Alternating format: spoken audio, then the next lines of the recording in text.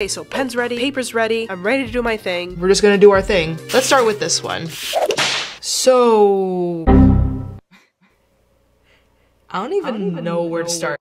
Now, if you have absolutely no idea where to start when it comes to reverse coloring, just a few things to help you get started. Look at the painting that's in front of you, pick a spot, and try to think about what that particular thing looks like or resembles to you. The first thing that I noticed was those purple blobs, and it reminded me of mountains. Boom, snow-capped peaks. And then I thought, what's a mountain without a river going down it? So I drew a river. And then I got to thinking, this river looks kind of lonely, so let me put some bushes next to it. And before I knew it, I was constructing me a Bob Ross style scene. This is actually based on a psychological phenomenon called pareidolia, where we see recognizable shapes in things like clouds, rock formations, tree branches, toast, and in this case, paint splatter. Think of it as another way to unlock the right brain and see past something for what it is into something that it can be.